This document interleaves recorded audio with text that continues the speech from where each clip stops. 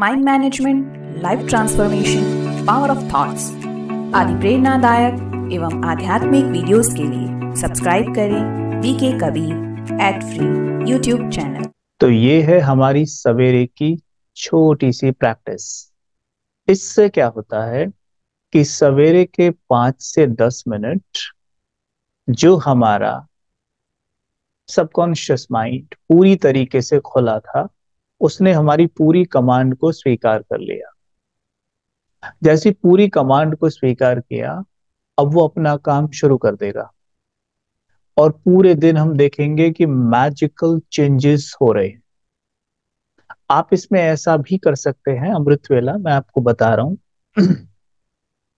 इसमें दो से तीन ऐसी चीज़ें आप जोड़ लीजिएगा। अमृत वेले के एंड में भी आप कर सकते हैं। अमृत वेले के बीच में भी और शुरू में भी जब आपको ठीक लगे, आप कर लेना। तीन ऐसी चीज़ें, दो ऐसी चीज़ें आप ऐड कर सकते हैं इसमें कि जिन्हें आप अपने जीवन में होते हुए देखना चाहते हैं, लेकिन वो बहुत समय से हो नहीं रही। कोई विघन आ रहा है या कोई समस्या है, कुछ भी है, वो हो नहीं रही।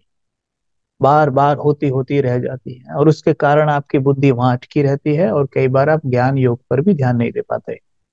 तो हम ऐसे में क्या करेंगे वो कोई भी चीज़ हो सकती है कुछ भी हो सकता है ठीक है? तो ऐसे में हम क्या करेंगे कि हम उन जो वो हमारी शुद्ध इच्छाएँ हैं शुभ इच्छाएँ हैं उन्हें हम क्या करेंगे? इस प्रकार विश्वलाइज करेंगे जैसे मानो वो हो गई है। जैसे उदाहरण के तौर पर आपके आ, कांधे में दर्द रहता है मान लेते हैं। कांधे में दर्द है आप चाहते क्या हो कि कांधे में दर्द ना रहे, यानी ये ठीक हो जाए, है ना? तो हमें करना क्या है, वो मैं बता रहा हूँ।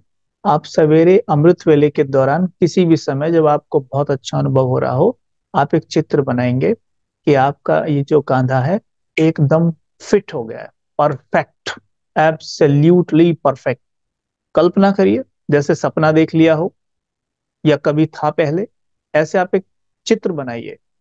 एकदम परफेक्ट हो गया। आपके फ्रेंड आपके बहन भाई, कोई भी, आपके रिलेटिव्स कह रहे हैं आपको, अरे, आपका कांधा तो एकदम ठीक हो गया, चित्र बनाइए ऐसे। और आप कह रही हाँ देखो, एकदम फ़र्स्ट क्लास हो गया। आपने चित्र बना दिया और चित्र बनाकर तो ऑफ़ कोर्स आपका मूड तो बहुत अच्छा हो ही जाएगा। अच्छे मूड में कहेंगे कि, शिव बाबा, आपका दिल से शुक्रिया, बहुत बहुत शुक्रिया। बहुत बहुत शुक्रिया कि आपने मेरा ये कांधा एकदम ठीक कर दिया। तो इससे क्या होता है कि हमारे माइंड की जो फ्रीक्वेंसी होती है, वो ऊपर चली जाती है। जैसी वो ऊपर जाती है हाई फ्रीक्वेंसी में रुका हुआ माइंड क्या करेगा? आपके तन को भी हाई फ्रीक्वेंसी यानी हाई स्टेट में रखेगा। आपकी बॉडी को भी वो फिट रखेगा। लेकिन हम करते जस्ट इसका उल्टा है। एकदम उल्टा। हुँ? ये आदत पक्की करें। माताएँ तो विशेष ध्यान से सुन लें। माताएँ तो जैसे थोड़ा भी कुछ भी शरीर में तकलीफ़ होता है, कोई भी मिला, तुरंत बोलेंगी, भाई यहाँ दर्द है, यहाँ दर्द है, यहाँ दर्द है। और सारा काम करती रहेंगी। पूरे दिन इतनी मेहनत भी करती हैं साथ में और ये भी कहती रहेंगी, यहाँ दर्द है भैया, चला नहीं जा रहा, क्या करूँ? बस जीवन बड़ा मुश्किल हो रहा है। ये हाथ तो ऐसे हिलता ही नहीं। और इतने अच्छे से फीलिंग करके बोलती हैं कि मन भी कहता है कि बिल्कुल पूरी तरह से एक्ट करके दिखा दिया है माता ने तो। तो ये तो मेरे को इनका हाथ ऐसा बनाना ही पड़ेगा। तो वो क्या देखता है कि दिन पे दिन वो हाथ और ज़्यादा पेन बढ़ता ही जा रहा है। के बजाय हम इसका उल्टा करेंगे बिल्कुल कि सवेरे अमृत वेला नुमा शाम योग में और दिन भर में भी। अगर अमृत वेला नुमा शाम कर लिया तो दिन भर में करना बड़ा आसान होता है फिर। तो जैसे ख्याल आया, हाथ का एकदम बोलेंगे, बहुत बहुत धन्यवाद प्रकृति माँ, बहुत बहुत धन्यवाद शिव बाबा, पूरे ब्रह्मांड को धन्यवाद, सब आत्माओं को धन्यवाद, मैं एकदम ठीक हो गई। देखेंगे आपकी इतनी फास्ट हीलिंग हो रही है कि इतना मज़ा आएगा आपको। अरे, ये क्या हो रहा है? तो जादू है। एक्चुअल में जादू ही तो हो रहा है चारों तरफ़। क्या ये जादू नहीं है कि आप वहाँ बैठे हैं यूएस में बैठे हैं, मैं यहाँ बैठा हूँ और एक दूसरे से मिल रहे हैं? ये सब जादू ही तो हमारे आसपास हो रहा है, हैं? मैं बोल रहा हूँ, आवाज़ आपके पास वहाँ जा रही है यूएस में, है? तो देखिए हर चीज़ हमारे आसपास क्या हो रही है मोबाइल, ये सब जो भी आप देखते हैं, क्या सब जादू ही तो हो रहा है, ये कैसे हो रहा है सब? तो जादू ही है, यहाँ प्रकृति में जादू भरा पड़ा है we have to use that magic तो हमें इस तरीके से उसे करना है, ठीक है? तो समझ गई माताएँ, क्या करेंगी? क्या बोलेंगी जब कोई पूछेगा, क्या हाल चाल है, क्या बोलेंगी? है? माताएँ क्या बोलेंगी? ठीक है, आवाज़ नहीं आ रही, ऐसी करके दिखा दो, हाथ पाँव ही चला के दिखा दो। कैसे बोलेंगे? ऐसे बोलेंगे, बहुत बढ़िया जी, बहुत बढ़िया, मज़ा आ गया, क्या बस उड़ रहे हैं, हम तो बहुत खुश हैं। ऐसे बोलेंगे ना माताएँ, हैं? हाँ ऐसे ही बोलना है। अब ऐसे कुछ नहीं बोलेगा कोई भी जी, बस कट रही है, क्या करें, बस जीवन तो बोझ हो गया है, बस मुश्किल से सांस आ रहा है, जैसे तैसे काट रही हूँ दिन गिन के। ये तो कुछ नहीं करना है, ठीक है? समझ रही है? बहने, माताएँ सुन रही है सभी? हम्म? हाँ क्योंकि हमारी माताएँ भावनाओं के आधार पे चलती है ना तो भाव, इतनी भावना के आधार पे रहती हैं कि भावनाओं में बह के अपना भी कई बार नुकसान कर लेती हैं। ये अपना ही नुकसान है। ऐसा कोई तन नहीं है आज के समय में, कलयुग के बिल्कुल अंत में, कि वो हंड्रेड परसेंट फिट हो। भाई कैसे रहेगा? जब प्रकृति पूरी तमो प्रधान हो गई है तो हंड्रेड परसेंट तो फिट वो रहने वाला है नहीं। चाहे आप कुछ भी कर लो, मैं अपने अनुभव से कहता हूँ, कुछ भी कर लो, कुछ ना कुछ ऊपर नीचे थोड़ा बहुत तो ज़रूर होगा। अब हम उसको गाने लग जाए चारों तरफ़। ओहो हो, ऐसा हो गया, वैसा हो गया तो वो प्रॉब्लम बढ़ेगी। और एक बात और बताऊँ आपको? एक राज की बात बताता हूँ, मुरली में आया था कि अगर आपके सर पे, आपके सर पे पचास किलो वज़न हो?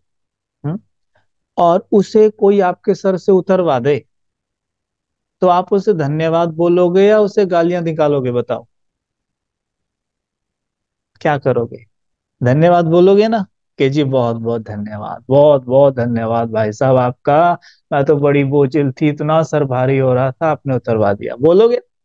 अब देखो हमारे सर पे द्वापर युग से अब तक पापों का बोझा है। ऐसा बाबा मुरली में कहते हैं, ठीक है?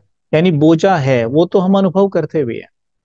अब, बीमारी या जिसे हम दर्द, तकलीफ़ या विघन कहते हैं, कुछ भी, हमारे जीवन में आता है। पता क्यों आता है वो? हमारे सर से उस पचास किलो को पच्चीस किलो में छोड़ने के लिए, यानी पच्चीस किलो वज़न उतारने के लिए आता है वो। कई बार तो पूरा उतारने की भी कोशिश करता है, पर हम उसे वो मौका देते ही नहीं है। हम कहते भैया, हम तुझे अपनी पूरी सेवा करने नहीं देंगे। कैसे? देखो, सुनो। वो आता है हमारा बोझ कम करने। हम क्या करते हैं? उसे जम के जम के कोसना शुरू कर देते हैं। हम बीमारियों को इतना कोसते हैं कि पूछो मत। अगर कोई बीमारी हमारे तन में हो गई ना तो हम इतना कोसते हैं, इतना कोसते हैं बीमारी को कि पूछो मत। कैसे कोसते हैं आप भी जानते हैं। तो आप अच्छे से जानते ही हैं। ठीक है। अब प्रकृति, यानी सॉरी ये बीमारी क्या कहती है? भाई, मैं तो आपके पास आई थी आपका बोझ कम करने के लिए। लेकिन आपने मुझे कोस कोस कर, कोस कोस कर, कोस कोस कर प्रकृति में इतने नेगेटिव वाइब्रेशन फैला दिए हैं कि आपके सर पे पाप का बोझ और बढ़ गया है। पहले तो पचास किलो था। आपने उसको कर दिया सत्तर किलो। समझ गए? सेवेंटी के जी कर दिया आपने उसको। आपने उसको नाइन्टी के जी कर दिया। तो अब क्या है जी? मुझे तो आदेश आया था कि मुझे आपके सर पे 25 किलो यानी 25 के जी छोड़ना है। और अभी आपने इसको कर दिया 90 के जी तो मैं तो सोच के आई थी कि पंद्रह दिन आपके पास रहूँगी। लेकिन अब मुझे आपके पास तीन महीने रहना पड़ेगा। तो बीमारी रहती है हमारे पास फिर तीन महीने के लिए। हम कहते हैं, भाई जी, कुछ ऐसा बताओ कि ये चली जाए। जाएगी कैसे? हम तो उसे कोस इतना रहे कि पूछो मत, कोस कोस कर हमने पूरे वायुमंडल को दूषित कर रखा है। घर वालों का जीना मुश्किल कर रखा है, पूरे घर में नेगेटिव वाइब्रेशन फैला के रखे हुए बाबा ने ड्यूटी दी थी वायुमंडल परिवर्तकों वायुमंडल को बना देना है और हमने वायुमंडल को पूरा हैवी करके रखा हुआ है। चिड़चिड़े रहते हैं क्यों? एक छोटी सी बीमारी के लिए। हम कहते हमारे फ्रेंड्स तो ऐसे नाचते कूदते रहते, हम नहीं नाच कूद पाते। बस उसको लेके हमारे मन में कसक रहती है और हम क्या करते हैं, उसे कोसना शुरू कर देते तो जो हमें नाचने नहीं दे रही। वो कह रही है, अरे भैया, तुझे नाचने की पड़ी है, मैं तो तेरे सर से बोझ उतारने आई हूँ, तेरे सर पे इतना बोझ है, तू नाचेगा कैसे? उस बोझ को मुझे कम करना है और मैं कम कर रही हूँ। तो जब वो कम कर रही है तो उसे क्या कहना चाहिए हमको? कि हे बीमारी जी, आपका दिल से धन्यवाद। आप मेरे जीवन में आए आपने मुझ पर जो एहसान किया है, मैं कैसे उसे चुकतू करूँ? बहुत बहुत धन्यवाद, बहुत बहुत धन्यवाद, आपका दिल से धन्यवाद। और मैं अनुभव कर रही हूँ कि मेरे सर से बोझ हर पल कम होता जा रहा है। बीमारी कहेगी, ये तो बहुत अच्छा है। ठीक है? तो इससे क्या होगा? जो वो पंद्रह दिन सोच के आई थी ना, पाँच दिन में ही चली जाएगी। बोले काम हुआ पूरा। क्योंकि इसने तो पुण्य भी कमाया ना, शुक्रिया कर करके, वायुमंडल को लाइट किया। तो आप देखेंगे, अरे, मैं तो जल्दी ठीक हो गया। हम्म? हालाँकि कुछ हमारा भोजन डाइट उसका हमें ध्यान देना है। फ़िलहाल मैं डाइट पर कोई क्लास नहीं करा रहा हूँ। मैं फ़िलहाल संकल्प शक्ति पे बात कर रहा हूँ। तो हमने उसका विशेष ध्यान देना है। ठीक है?